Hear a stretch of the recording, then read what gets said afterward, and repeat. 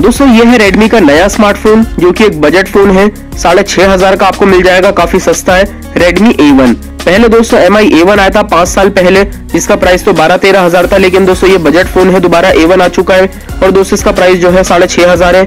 Box आपको कुछ इस तरीके से मिल जाता है, ये सारी स्पेसिफिकेशंस मिल जाती हैं। इस वीडियो में मैं इसकी अनबॉक्सिंग करके आपको दिखाऊँगा दोस्तों, इसके अंदर आपको फीचर्स कैसे मिलते हैं और आपको इसको खरीदना चाहिए या नहीं खरीदना चाहिए। तो दोस्तों वीडियो को एंड तक ज़रूर देखिएगा और एक लाइक भी ज़रूर कर दीजिए। चलिए अनबॉक्स करते हैं इसको। तो जैसे आप अनबॉक्स करते हैं, सबसे पहले आपको मिल जाता है फ़ोन एक रैपर के अंदर। डिटेल लुक हम अभी देखेंगे। इसके बाद दोस्तों कुछ इस तरीके से जो है आपको एक यूज़र मैनुअल मिल जाता है। अंदर की तरफ़ सबसे लास्ट में रखे हुए इस तरीके से। और दोस्तों कवर जो है बॉक्स के अंदर आपको नहीं दिया गया। इसके बाद पैकिंग में कुछ इस तरीके से आपको जो है सबसे पहले डेटा केबल मिल जाती है। देख लेते हैं दोस्तों। तो केबल की जो क्वालिटी है, वो आपको काफ़ी बढ़िया मिल जाती है। और दोस्तों, इसका ड्रॉप टेस्ट भी हो चुका है, गिरने के बाद टूटी नहीं। और टाइप सी केबल नहीं है, लेकिन दोस्तों, ख्याल रखिएगा टाइप सी केबल नहीं दी गई। लास्ट में रखा हुआ मिलता है ये व्हाइट कलर में चार्जर जो दोस्तों 10 वॉट का चार्जर है। 10 वॉट का आपको मिलता है सिंपल तो बॉक्स के जो कंटेंट्स है दोस्तों रेट के हिसाब से आपको सही दिए गए हैं। चार्जर की क्वालिटी भी आपको काफ़ी बढ़िया मिल जाती है और केबल की क्वालिटी भी काफ़ी अच्छी है। बस अगर कवर होता और टाइप सी केबल होती तो बहुत ज़्यादा बढ़िया रहता। चलिए बात कर लेते हैं दोस्तों डिज़ाइन के बारे में। तो इस साढ़े छह हज़ार के फ़ोन में दोस्तों डिज़ाइन आपको काफ़ी ज़्यादा बढ़िया मिल जाता है। थोड़ा सिंपल है, लेकिन दोस्तों ऐसा ही डिज़ाइन आपको जो है शाओमी के बाईस तेईस हज़ार के फ़ोन में भी देखने को मिलता है, कुछ इसी तरीके से। बस इसके अंदर आपको प्लास्टिक के टाइप का दिया गया है, कुछ इस तरीके से आपको डिज़ाइन का पैटर्न मिल जाता है। आप देख सकते हैं रेडमी की ब्रांडिंग दी गई है नीचे की तरफ़। डिज़ाइन की क्वालिटी आपको काफ़ी बढ़िया मिल जाती है। इस डिज़ाइन में आपको पीछे की तरफ़ बैक साइड पर दो कैमरे दिए गए हैं। बराबर में लिखा हुआ है एआई कैमरा कंप्लीट डिज़ाइन दोस्तों, आप देख सकते हैं आपको कैसा लग रहा है। थोड़ा सिंपल है, लेकिन दोस्तों काफ़ी बढ़िया लग रहा है। लग नहीं रहा, साढ़े छह हज़ार का फ़ोन है ये। लुक वाइज आपको डिज़ाइन जो है काफ़ी ज़्यादा बढ़िया मिल जाता है। कलर भी काफ़ी ज़्यादा अच्छा है। मुझे पर्सनली दोस्तों इसका डिज़ाइन जो है काफ़ी ज़्यादा बढ़िया लगा। बाकी दोस्तों एक चीज़ जो है काफ़ी बड़ी मिसिंग है इसके अंदर। आप ध्यान दे सकते हैं दोस्तों इसके अंदर आपको फिंगरप्रिंट स्कैनर बैक पैनल पे नहीं मिलता। इस फ़ोन के अंदर आपको फिंगरप्रिंट स्कैनर दिया ही नहीं गया। अगर होता तो बहुत बढ़िया रहता। बाकी दोस्तों इसका डिज़ाइन आपको कैसा लगा, कैसा नहीं कमेंट करके ज़रूर बताइएगा। चलिए दोस्तों ऑन कर लेते हैं Redmi A1 को और देखते हैं चलाने में कैसा लगता है ये फ़ोन इसके अंदर आपको डिस्प्ले की जो क्वालिटी दी गई है, वो कैसी मिलती है, कैसे नहीं। बाकी दोस्तों डिस्प्ले का साइज़ तो इसके अंदर आपको काफ़ी अच्छा मिल जाता है। साढ़े छह हज़ार प्राइस है। और साढ़े छह इंच की इसके अंदर आपको डिस्प्ले मिल जाती है। तो दोस्तों डिस्प्ले का साइज़ आपको मिल जाता है सिक्स पॉइंट फाइव इंच का। इसके अलावा दोस्तों, इसके अंदर आपको IPS H D plus display दी गई है। तो क्वालिटी रेट के हिसाब से इसके अंदर आपको सही मिल जाती है। बाकी फिर भी देख लेते हैं दोस्तों कलर्स वगैरह एक्चुअल में कैसे है रियलिटी में डिस्प्ले कैसी अच्छी है या फिर नहीं। तो दोस्तों, बात करें सबसे पहले यूज़र इंटरफेस के बारे में। तो इसके अंदर आपको दोस्तों यू का इसके अंदर दोस्तों आपको गो एडिशन दिया गया है। एक्सपीरियंस आप देख सकते हैं, दोस्तों, आप ऐसे ऊपर की तरफ़ स्वाइप करेंगे, आपको सारी एप्लीकेशन मिल जाती है। एप ड्रॉर दिया गया है, बाकी जो कलर्स है, वो थोड़े आपको डिफरेंट मिल जाते हैं। यहाँ पे जो है ऐसा लग रहा है ब्लैक एंड व्हाइट टाइप का फ़ोन कलर्स वगैरह दोस्तों आप यहाँ पे देख सकते हैं सेटिंग्स के अंदर। बाकी इसके अलावा दोस्तों डिस्प्ले में आपको नॉर्मल 60 हर्ट्स का रिफ्रेश रेट मिलता है, क्योंकि इसका प्राइस इतना ज़्यादा तो नहीं है।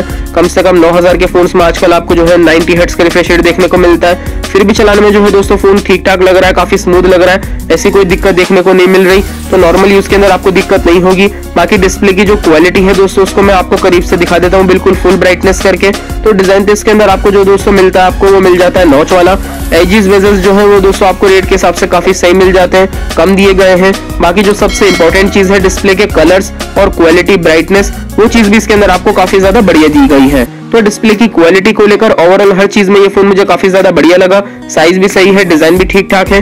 इसी के साथ जो इंपॉर्टेंट चीज़ है डिस्प्ले की क्वालिटी वो भी इसके अंदर आपको काफ़ी बढ़िया मिल जाती है। इसके अलावा दोस्तों, इस एंगल से आप इसका डिज़ाइन देख सकते हैं, कुछ इस तरीके से लग रहा है। बाकी लेफ़्ट साइड से आप देखेंगे तो इस तरफ़ आपको सिम की ट्रे दी गई है। सिम की ट्रे ऐसे मिल जाती है, जिसके अंदर आप दो सिम कार्ड और एक मेमोरी कार्ड तीनों चीज़ एक साथ लगा सकते हैं। दोस्तों तो ये चीज़ काफ़ी ज़्यादा बढ़िया है इसके अंदर। इसके अलावा दोस्तों साइडों से डिज़ाइन जो है कर्व है इसका बैक साइड से। नीचे की साइड से आप देखेंगे तो चार्जिंग पोर्ट हेडफोन जैक और माइक मिल जाता है। राइट साइड पर वॉल्यूम के बटन और पावर का बटन है। फिंगरप्रिंट स्कैनर तो इसके अंदर आपको दिया ही नहीं गया। तो ये मुझे इसके अंदर काफ़ी बड़ी वैसे कमी लगी, होना चाहिए था, काफ़ी इंपॉर्टेंट है। ऊपर की तरफ़ से आप देखेंगे तो स्पीकर मिल जाता है इसमें आपको इस तरफ़। नीचे की तरफ़ नहीं दिया गया स्पीकर ऊपर की तरफ़ है। तो थोड़ा डिफरेंट ही है ये फ़ोन इसके अलावा दोस्तों सेटिंग्स में चलते हैं रैम और स्टोरेज चेक कर लेते हैं। तो दोस्तों इसके अंदर आपको दी गई है साढ़े छह हज़ार में दो जीबी रैम बत्तीस जीबी की इंटरनल स्टोरेज साढ़े आठ जीबी जो है पहले से ही यूज्ड है।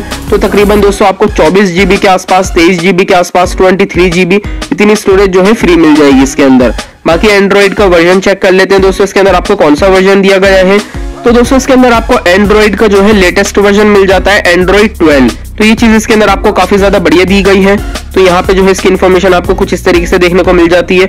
इसके अलावा दोस्तों, बात करें बैटरी के बारे में तो इसके अंदर आपको बैटरी दी गई है दोस्तों पाँच हज़ार की। एक दिन का नॉर्मल बैटरी बैकअप इसके अंदर आपको आराम से मिल जाएगा। तो दोस्तों, बैटरी को लेकर ये फ़ोन काफ़ी ज़्यादा बढ़िया है और यहाँ पे आप ऐसा बारह बजा सकते हैं इस फ़ोन के। कुछ इस तरीके से आपको पैटर्न देखने को मिल जाता है। चलिए इसको रिस्टार्ट करते हैं, देखते हैं कितना टाइम लगाता है ये रिस्टार्ट होने में।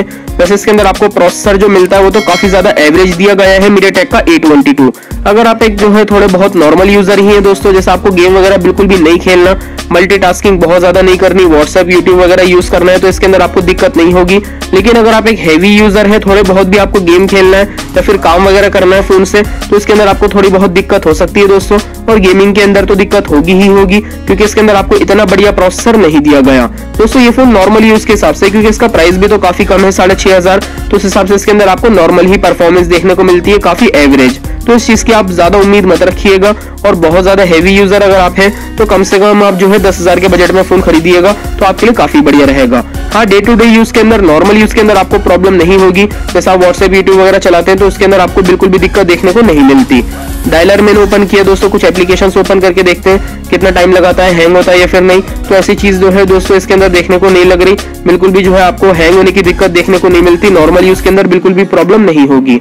बाकी इसके अंदर आपको बैक साइड पर जो मेन कैमरा दिया गया है दोस्तों, वो मिल जाता है एट एम पी आठ मेगा पिक्सल अब परफॉर्मेंस आपको कैमरे की कैसे मिलती है उसको देख लेते हैं। तो उसके अंदर आपको जो है फिर भी बजट के हिसाब से परफॉर्मेंस काफ़ी सही मिल जाती है कैमरे की। इसके अंदर आपको जो है फ़ोटोज़ की जो क्वालिटी मिलती है, वो भी काफ़ी सही दी गई है। कलर्स वगैरह ऐसे नहीं है कि बहुत ज़्यादा बेस्ट कैमरा है, लेकिन फिर भी दोस्तों, इसके प्राइस को देखते हुए कैमरे की परफॉर्मेंस काफ़ी अच्छी मिल जाती है। बहुत से 9000 के फोन्स में भी ऐसी परफॉर्मेंस आपको देखने को नहीं मिलती दूसरे ब्रांड्स के अंदर, जो इसके अंदर आपको साढ़े छह हज़ार में दी गई है। तो ओवरऑल दोस्तों, मुझे कैमरे को लेकर ये फ़ोन काफ़ी ज़्यादा सही लगा। कलर्स वगैरह काफ़ी अच्छे हैं डिटेल्स वगैरह आपको काफ़ी सही मिल जाती है। पोर्ट्रेट मोड भी इसके अंदर आपको मिल जाता है तो वो चीज़ भी इसके अंदर काफ़ी ज़्यादा बढ़िया है। अब दोस्तों ओवरऑल जो है, देख लेते हैं सबसे इंपॉर्टेंट चीज़ आपको इस फ़ोन को खरीदना चाहिए, नहीं खरीदना चाहिए। देखिए, सबसे इंपॉर्टेंट चीज़ यही है कि आपका बजट जो है कितना है, कितना नहीं। अगर आपका बजट ही बहुत ज़्यादा कम है, साढ़े छह हज़ार तक ही है, आप उससे ऊपर नहीं बढ़ सकते। तो दोस्तों, ये चीज़ इसके अंदर आपको काफ़ी बढ़िया मिल जाती है। प्राइस का कम है, आप इस फ़ोन को खरीद सकते हैं। दूसरा, इसके अंदर आपको डिस्प्ले की क्वालिटी काफ़ी बढ़िया दी गई है। तो उस चीज़ को लेकर आपको दिक्कत नहीं होगी। दोस्तों कलर्स वगैरह काफ़ी बढ़िया है डिस्प्ले के ब्राइटनेस भी सही है। इसी के साथ दोस्तों, इसके अंदर आपको रेमो स्टोरेज नॉर्मल मिल जाती है। दो जीबी रैम बत्तीस जीबी स्टोरेज तो मेमोरी कार्ड लगा के जो है आप मेमोरी को जो है एक्सपेंड कर सकते हैं। तो ऑप्शन आपको मिल जाता है। बैटरी भी सही दी गई है। नॉर्मल यूज़ के अंदर भी आपको दिक्कत नहीं होगी। इसी के साथ दोस्तों डिज़ाइन भी काफ़ी ज़्यादा बढ़िया है। तो सारी चीज़ें प्राइस के हिसाब से फिर भी दोस्तों इसके अंदर काफ़ी बढ़िया ही मिलती है। बस जो कमी है दोस्तों, वो ये है फिंगरप्रिंट स्कैनर नहीं है इसके अंदर। तो आप इस चीज़ का ख्याल रखिएगा, ये कमी इसके अंदर आपको देखने को मिलती है। तो पैटर्न वगैरह ये लगा के यूज़ कर सकते हैं। और दोस्तों कैमरे की परफॉर्मेंस भी काफ़ी बढ़िया मिल जाती है। फिर भी दोस्तों ओवरऑल प्राइस को देखते हुए मुझे ये फ़ोन काफ़ी ज़्यादा बढ़िया लगा, क्योंकि क्वालिटी वाइज काफ़ी ज़्यादा अच्छा है। जितना कम इसका प्राइस है, ऐसा चीप नहीं लग रहा। काफ़ी बढ़िया ही लग रहा है दोस्तों। और इस बजट के अंदर आजकल जो है फ़ोन आपको बहुत ही कम ही देखने को मिलते हैं। इनफैक्ट दस हज़ार के बजट में तो आजकल फ़ोन लॉन्च होते ही नहीं, और ये तो साढ़े छह हज़ार का है तो उस हिसाब से देखा जाए तो काफ़ी ज़्यादा बढ़िया है। आप बताइएगा फिर भी दोस्तों कमेंट करके रेडमी ए आपको कैसा लगा ए लगा या फिर नहीं कमेंट करके ज़रूर बताइएगा। वैसे डिज़ाइन भी काफ़ी ज़्यादा क्लासिक है इसका, लग नहीं रहा साढ़े छह हज़ार का है, काफ़ी अच्छा मॉड्यूल है कैमरे का भी। आपको कैसा लगा कमेंट करके ज़रूर बताइएगा।